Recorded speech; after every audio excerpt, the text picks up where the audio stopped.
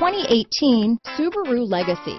The Subaru Legacy offers a roomy interior and a dynamic drive you feel every second you're in the driver's seat. It's a refreshing alternative to the alternatives.